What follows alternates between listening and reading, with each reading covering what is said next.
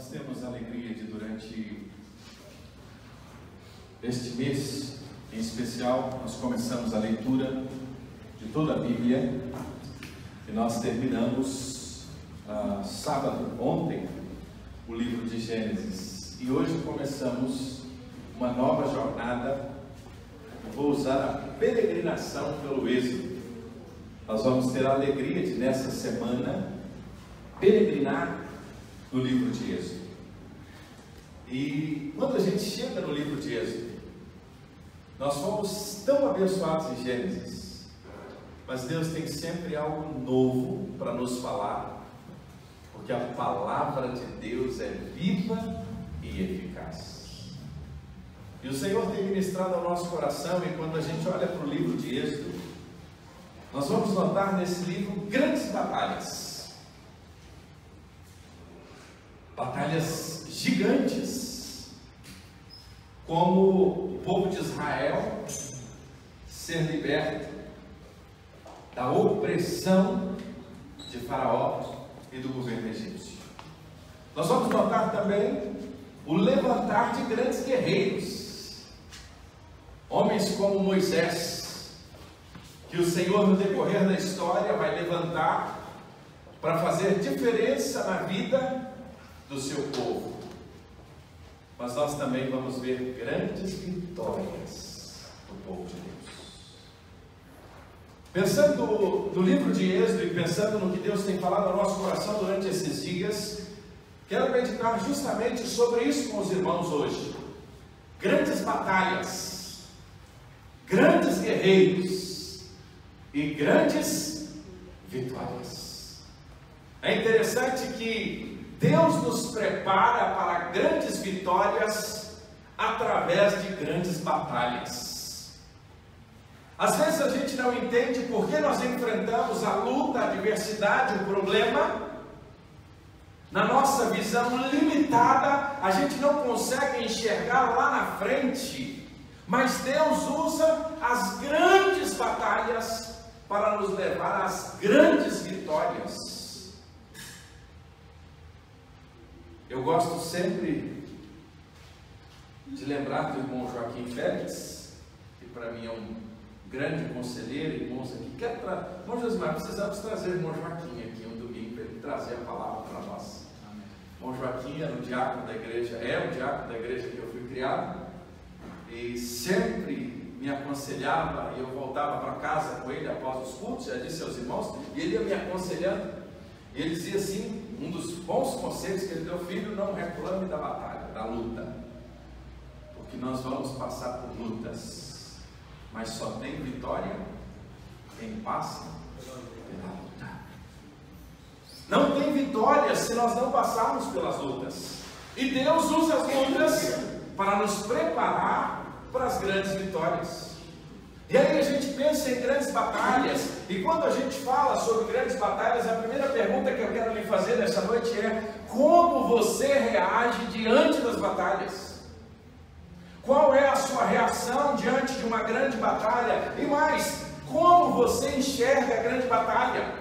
Você consegue enxergar a adversidade como oportunidade de Deus na sua vida?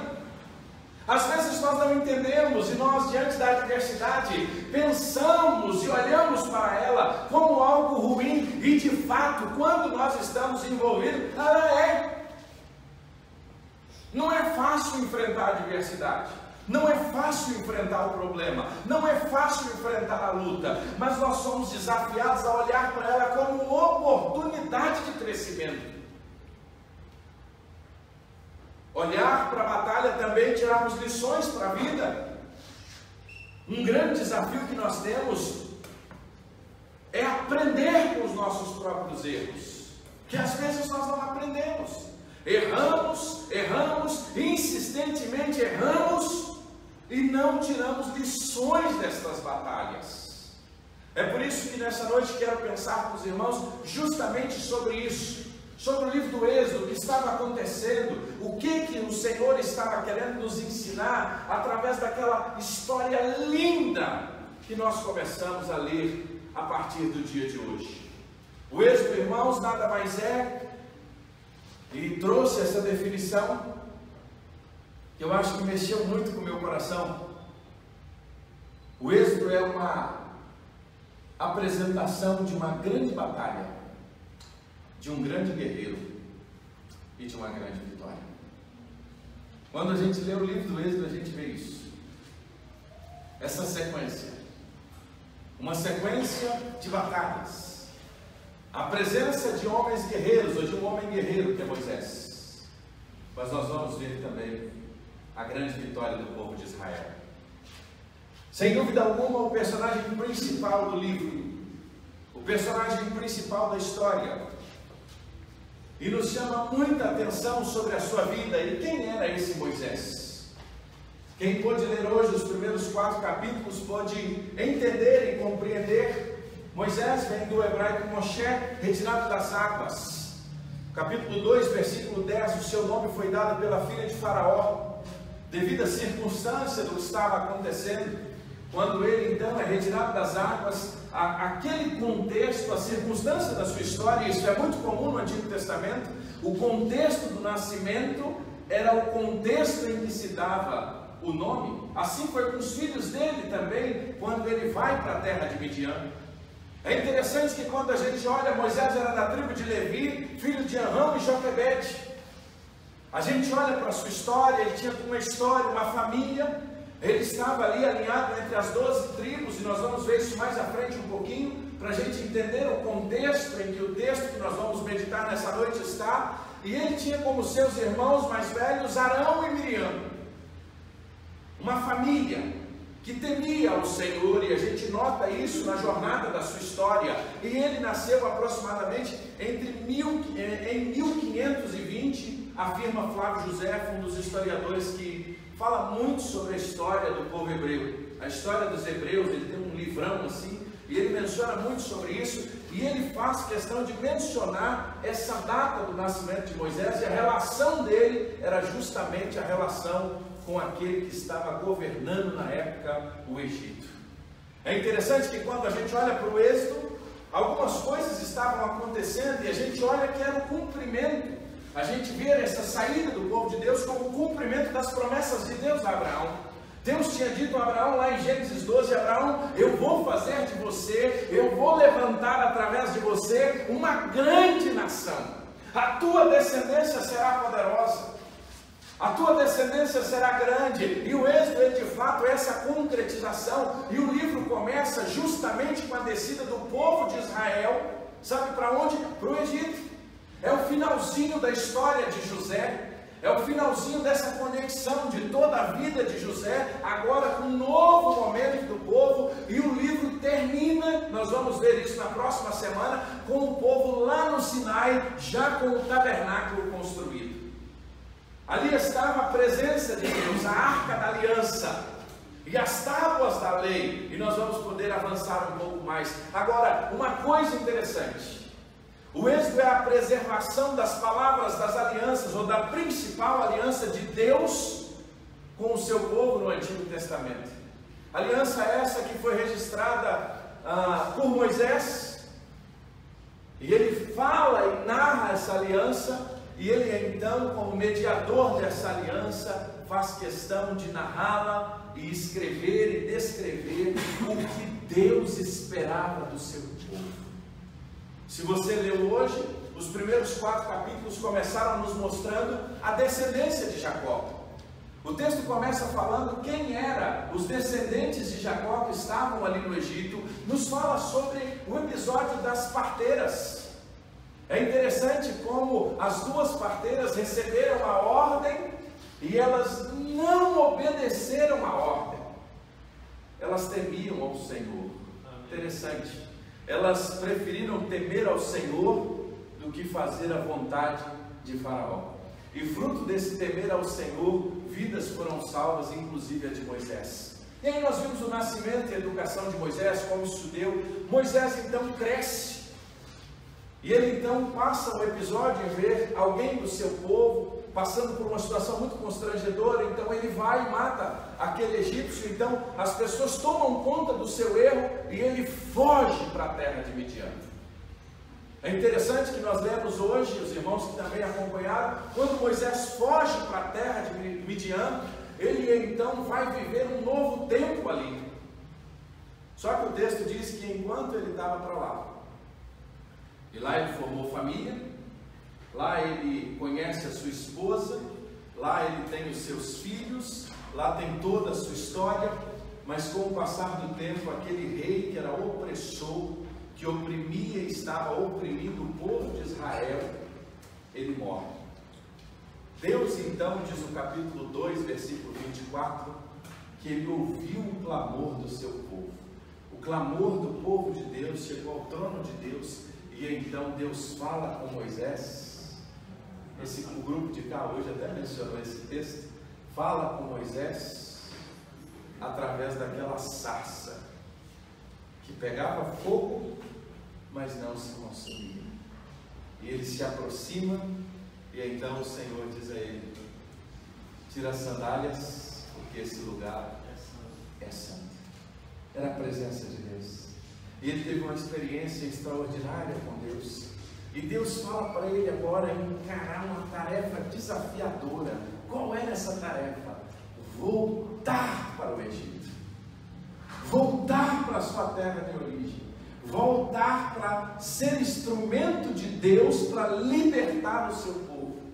E Moisés então arruma todos os seus argumentos, argumentos humanos, e Deus vai respondendo argumento por argumento de Moisés, para que ele entenda a necessidade que ele tinha de voltar e ser instrumento nas mãos do Senhor. Deus dá poderes a Moisés. E então Moisés regressa para o Egito. Se você está com a sua Bíblia, eu queria que você abrisse no capítulo 4 do livro do Êxodo, porque isso aqui que eu mencionei até agora foi um, um resumo do que são esses quatro capítulos. E eu queria que você pudesse então abrir Êxodo capítulo 4. E nós vamos ler juntos em uma só voz o versículo 21. Êxodo capítulo 4, versículo 21 é um texto que nós iremos ler e é onde nós vamos meditar nesta noite, que é justamente Deus falando com Moisés depois da sua decisão de retorno, depois da sua decisão de voltar para a sua terra. Está na tela o texto, a gente pode usar essa versão, que aqui é a nova Almeida atualizada. Vamos juntos, meus irmãos? O Senhor disse a Moisés: Quando você voltar ao Egito, Trate de fazer diante de Faraó todos os milagres que pus em sua mão, mas eu vou endurecer o coração de Faraó para que não deixe o povo ir. Vamos ler novamente?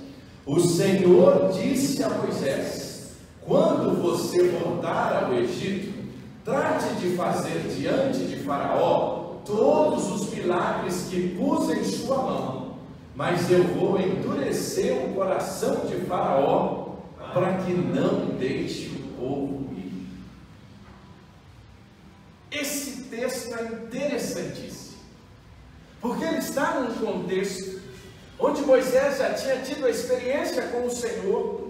E se você depois ler em casa e lembrar daquilo que você leu no dia de hoje, ele, a partir do verso 18, ele volta dessa experiência. E ele então tem um encontro com Reuel. Na verdade, Jetro era o posto do seu sogro, o seu nome era Reuel. Muitas vezes nós dizemos que o nome do sogro de Moisés é Jetro. Não, o nome do sogro dele é Reuel. E ele volta, está com o seu sogro, se encontra com ele, conta toda essa história, partilha com ele o que estava acontecendo, e ele diz: Eu irei agora e tomarei os meus irmãos que estão no Egito para ver se ainda vivem. Aí o sogro dele diz: Vá, vai em paz. Ele tem essa experiência de retornar, essa experiência com Deus, e nesta jornada, o Senhor então fala com ele: Moisés, quando você chegar lá no Egito, trate de fazer aqueles milagres que eu coloquei nas suas mãos.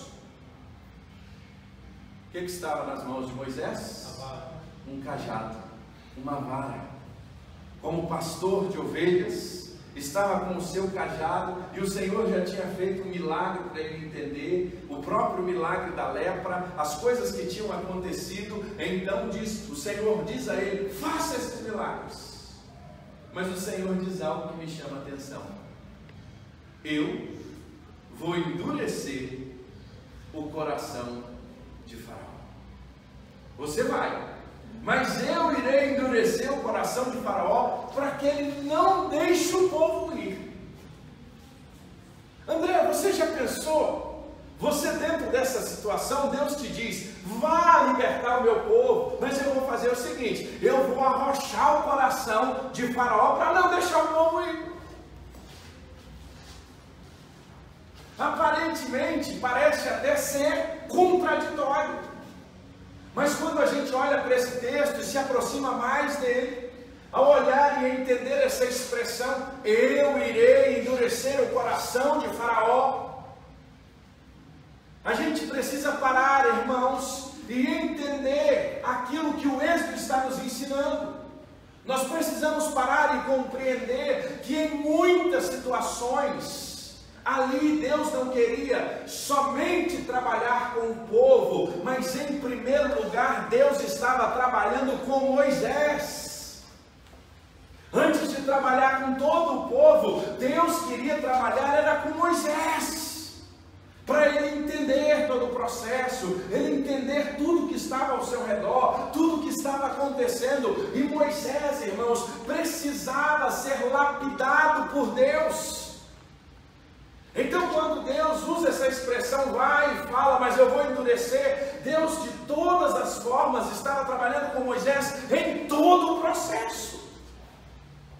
E às vezes a nossa maior dificuldade é entender Deus trabalhando conosco.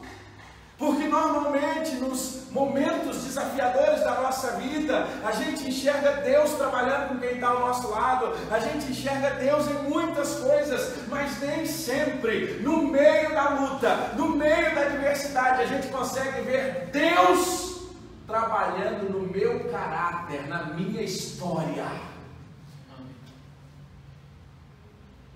O que, que nós podemos aprender com Moisés? Quando a gente olha para esse texto, quando a gente olha para Moisés, para esse contexto que nós mencionamos aqui, nessa noite eu queria mencionar com os irmãos três coisas que para mim foram lições preciosas. E eu quero partilhar com os irmãos. A primeira coisa que eu aprendi com Moisés sobre grandes batalhas, grande guerreiro e grandes vitórias, em especial grandes vitórias, que é o que nós mais queremos, foi o seguinte: Grandes vitórias serão fruto ou frutos de obediência. Eu queria que você pudesse dizer isso para quem está perto de você. Grandes vitórias são frutos de obediência. É difícil a gente entender isso. Todos nós queremos a vitória. Todos nós queremos o troféu. Todos nós queremos chegar em primeiro lugar. Todos nós queremos o pódio, todos nós queremos o reconhecimento, mas nem sempre nós lembramos do preço a ser pago e do caminho a ser percorrido para alcançarmos a vitória. A vitória tem um preço. A batalha, ao ser alcançada, aqui Moisés vai nos ensinar isso: que para grandes vitórias nós precisamos de obediência. E é interessante que no capítulo 4, verso 18, Moisés volta para Jetro, seu sogro, e diz: Deixe-me voltar para os meus irmãos. Deus tinha dito para ele: Vá para o Egito. E ele volta, volta desta experiência com Deus, e ao retornar dessa experiência com Deus lá no Monte Horeb, ele retorna, e a primeira coisa que ele faz, é demais isso, irmãos. Ele fala para o seu sogro que ele iria o quê? Voltar para o seu povo. Isso era o quê? Uma atitude de obediência. Só que às vezes na nossa vida, o que aparece diante de nós é isso aqui, ó: obedecer ou desobedecer. Era a mesma coisa diante de Moisés, que decisão tomar?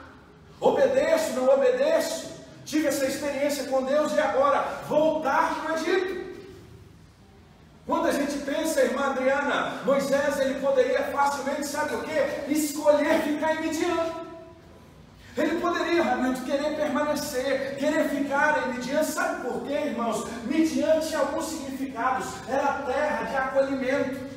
Quando eu digo significados, significados para Moisés, porque ele chega ali corrido, ele chega numa situação desafiadora e ali ele é acolhido, ele é recebido por Reuel, ele passa a ter uma família, então ali foi terra de acolhimento para ele, ali estava a segurança familiar dele.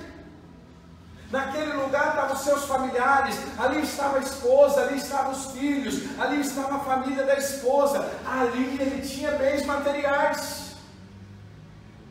Ele era pastor de ovelhas, ali ele estava com o seu sogro, ali ele tinha um aporte, ele tinha onde estar. É interessante que ele estava ao redor, toda a segurança. Então, diante da palavra do Senhor, Moisés tem uma escolha. Sabe quando a vida está aparentemente ajustada? Tudo estava assim, mais ou menos indo bem, as coisas caminhando bem. E aí Deus chega e diz: primeiro que já aparece num fogo que só tem fogo e não queima. O negócio já é diferente lá no Horeb. E aí diz para mim agora: volta! Ah, eu podia ficar em Midian. Ele podia ficar em Midian. Só que Moisés, ele escolhe. Tinha uma outra escolha diante dele. Ele poderia também escolher voltar para o Egito. E voltar para o Egito significava, em primeiro lugar, o desafio de liderar um povo. Irmãos, e que povo! Que a história a gente vai ver. Se tinha codorniz estava ruim, se tinha água estava ruim, se tinha carne estava ruim. Não é moleza não. A história do povo não é fácil, não. Um povo abençoado por ser o povo de Deus mas aonde tem gente, tem circunstâncias, tem desafios, tem relacionamentos. E Moisés agora ia ter que lidar com todas estas coisas e mais, enfrentar Faraó. E não era só enfrentar Faraó, era enfrentar Faraó sabendo que o coração dele seria duro. E mais, retornar sem muitas coisas. Irmãos, Deus, é, Deus dá é maravilhoso as coisas que Deus vai mostrando a gente na leitura das Escrituras. Olha o que, que diz 4,20. Vamos ler juntos? Então Moisés tomou a mulher e os filhos e fez com que montassem num jumento e voltou para a terra do Egito. Ele retornou com o que para lá? Ele estava abrindo mão de tudo. Que escolha! Só a faz isso com a gente. Estava diante de Moisés obedecer ou não obedecer. Moisés escolheu obedecer. Moisés escolheu obedecer ao Senhor. Por quê? Porque grandes vitórias serão frutos de obediência. Nós podemos ter diante de nós obedecer ou desobedecer, cabe a nós entender o que de fato nós queremos para nós. Nós aprendemos isso com Moisés, as vitórias extraordinárias que ele teve foi fruto da obediência. Outra coisa que me chama muita atenção: grandes vitórias são frutos de obediência, mas serão frutos também de quê? Perseverança. Como a gente desiste fácil das coisas boas que Deus nos. Como a gente facilmente e a gente lê o Gênesis, troca a primogenitura por um prato de lentilhas. A bênção do Senhor por uma comidinha rápida, por uma coisinha que aparentemente parece ser boa.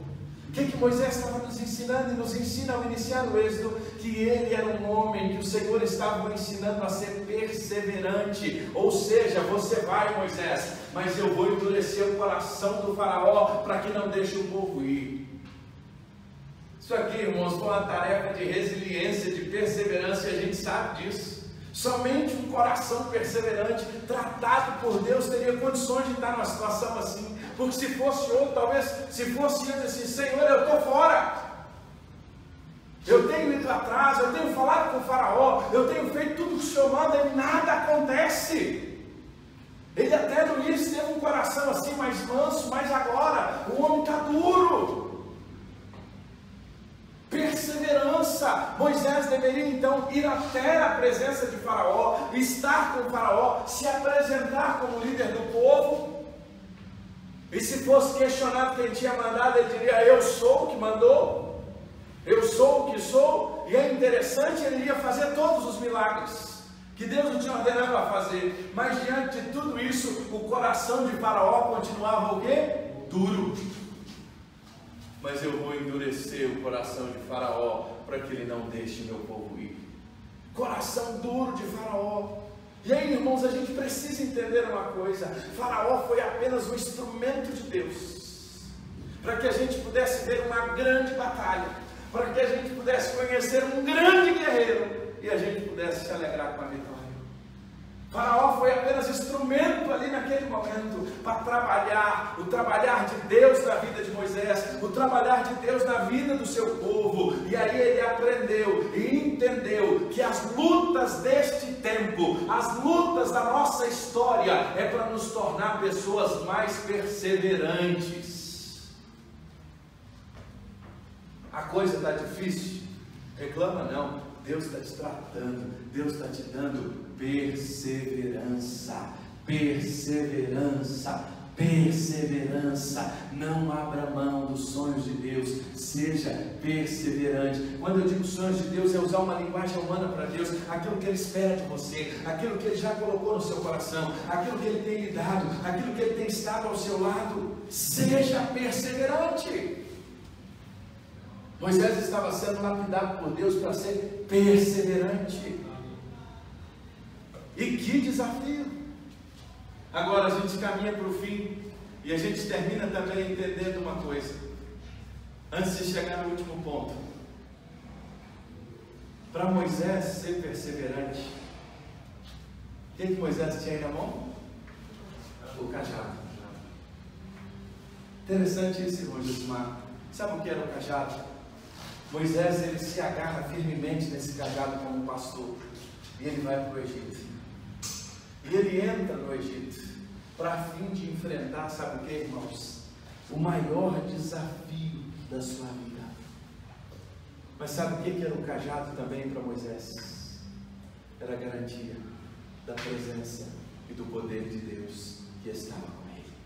Ele não estava sozinho.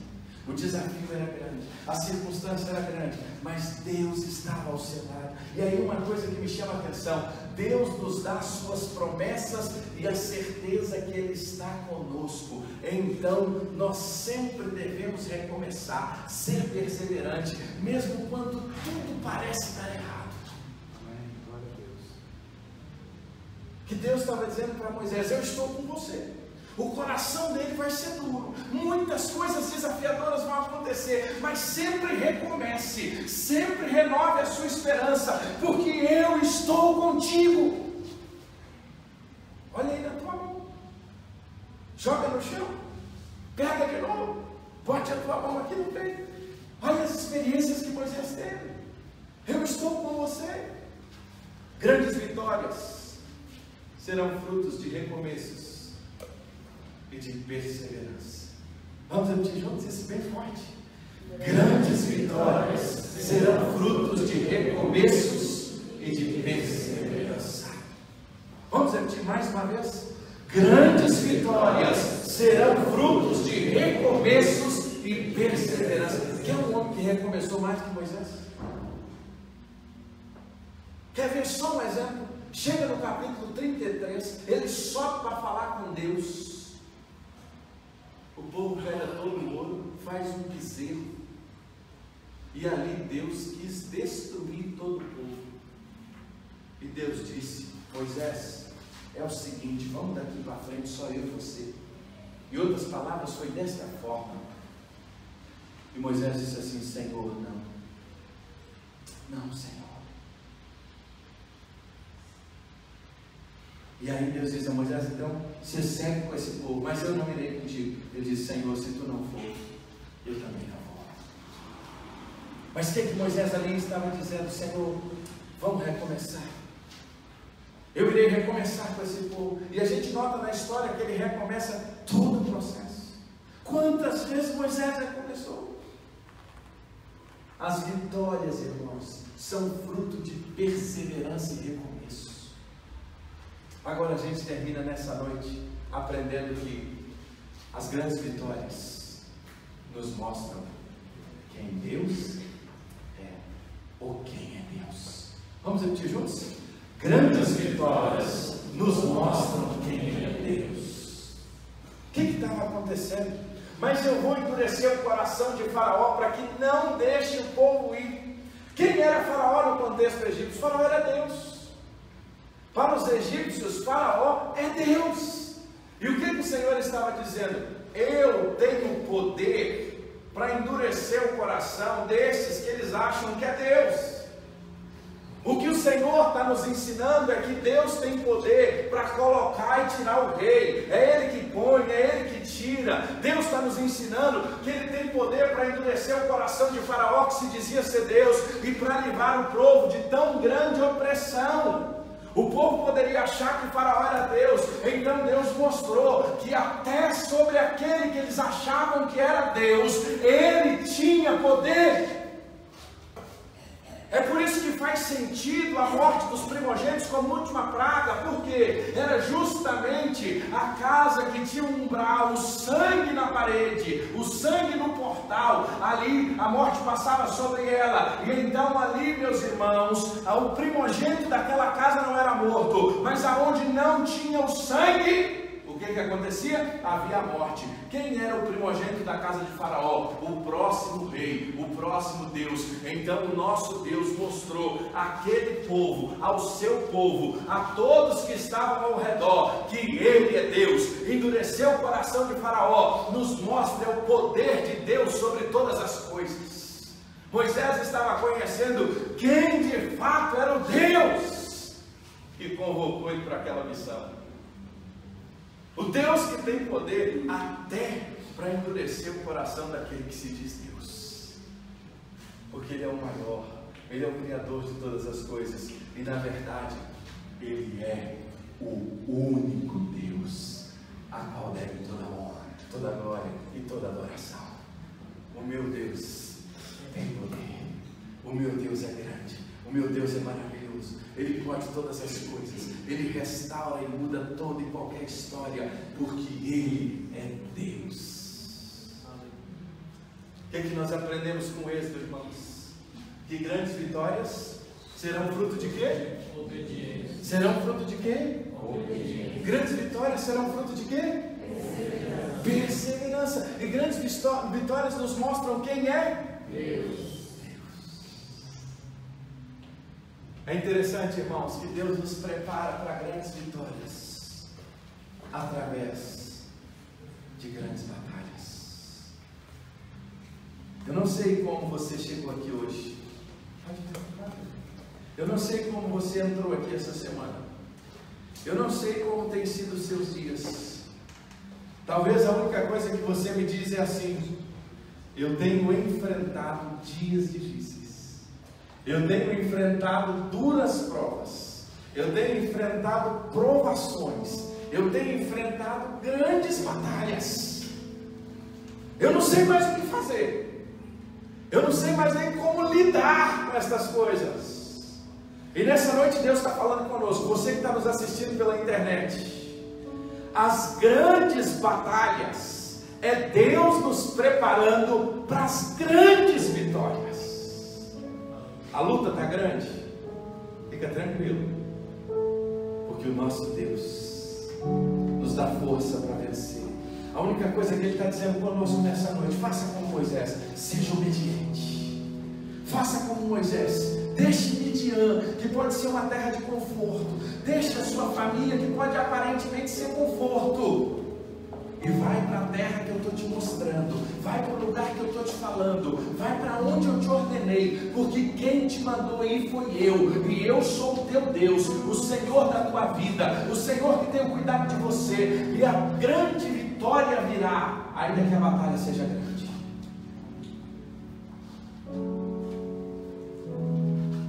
Eu termino lembrando a você que a palavra de Deus nos diz lá em Hebreus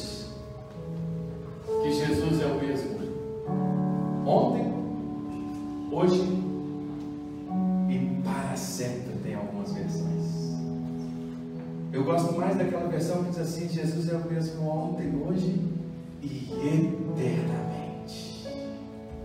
Sabe qual é o significado disso, irmão Valdinei?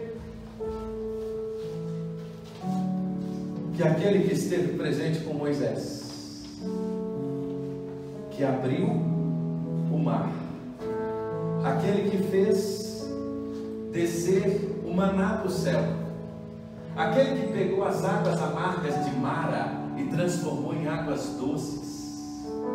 Por isso que ele é aquele conhecido que faz brotar um manancial em terra seca, em terra difícil, em terra desafiadora. Aquele que estava, como hoje nós vimos aqui, estudamos mais cedo, com Daniel na cova dos leões aquele que estava com Jonas, mesmo no mais profundo do mar, no ventre de um grande peixe. É o mesmo que estava com Sadraque, Mesaque, Abidinego. É o mesmo que esteve com o seu povo no tempo do cativeiro. É o mesmo que chegou na casa de Jairo, quando a sua filha já não tinha mais vida. E ele disse à menina: Menina, levanta-te. É o mesmo que chegou na casa de Lázaro, lá em Betânia, e todos choravam e diziam: Senhor, se o Senhor tivesse chegado antes, nada disso tinha acontecido. Mas já fazem quatro dias. Mas ele diz: Eu sou a ressurreição e a vida. Quem crê em mim, ainda que esteja morto, viverá. E ele vira e diz: Lázaro, sai para fora. Lázaro, sai, Lázaro, de onde você está. E Lázaro levanta e vem, e ali ele mostra que ele tem poder sobre a vida, poder sobre a morte, poder sobre todas as coisas, porque Jesus, esse nome tem poder, ele é o mesmo ontem, hoje, eternamente, e nessa noite ele está aqui. E ele está aqui convidando você hoje a tomar uma atitude como Moisés. Eu não sei o que você tem enfrentado. Eu queria convidar você a ficar de pé. Mas eu gostaria de desafiar você nessa noite a tomar um passo de fé e a entregar-se tudo o que você tem enfrentado a Jesus. Se apresentar diante de Deus, se derramar, ofertar a Ele o teu coração e dizer: Pai, eu quero cumprir os teus planos. Eu estou cansado. Senhor, eu não quero ficar em Midian, não. Eu não quero ficar nessa terra de refúgio, não. Senhor, eu quero fazer a tua vontade.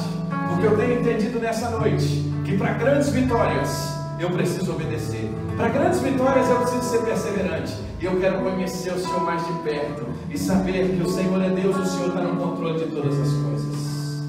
Vamos adorar ao Senhor com essa canção. E depois eu quero desafiar você a orar comigo nesta noite. A tomar uma decisão com Jesus. A entregar o governo da sua história para Ele. E deixar que Ele mude a sua vida